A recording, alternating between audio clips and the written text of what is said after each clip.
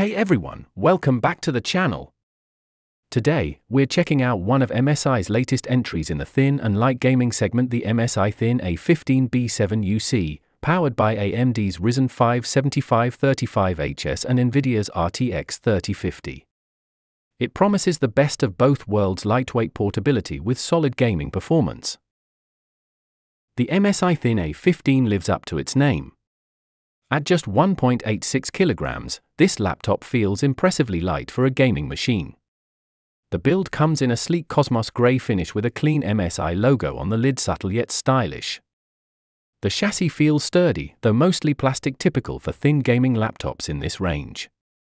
You also get a single zone blue backlit keyboard, which looks pretty good in low light and gives it that gaming vibe without being too flashy. The 15.6 inch Full HD IPS level panel with a 144Hz refresh rate is a big plus here. Colors are fairly accurate for gaming and media, and that high refresh rate makes everything feel buttery smooth, especially in competitive games. It's a great panel for both gaming and content consumption. In terms of connectivity, MSI gives you a Type-C port with DisplayPort and power delivery support, three USB 3.2 Type-A ports, an HDMI 2.1 port capable of 4K at 120 Hz, and a standard audio combo jack. Wireless-wise, it's equipped with Wi-Fi 6E and Bluetooth 5.3, ensuring fast, stable connections whether you're gaming online or streaming. Single backlit keyboard, blue.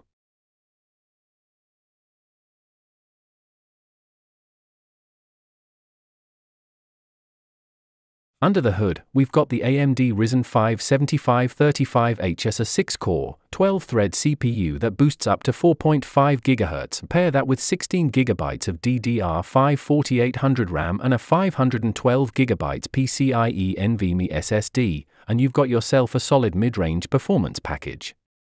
For graphics, it's rocking the NVIDIA GeForce RTX 3050 with 4GB of GDDR6 VRAM enough to handle most modern titles at medium to high settings in 1080p.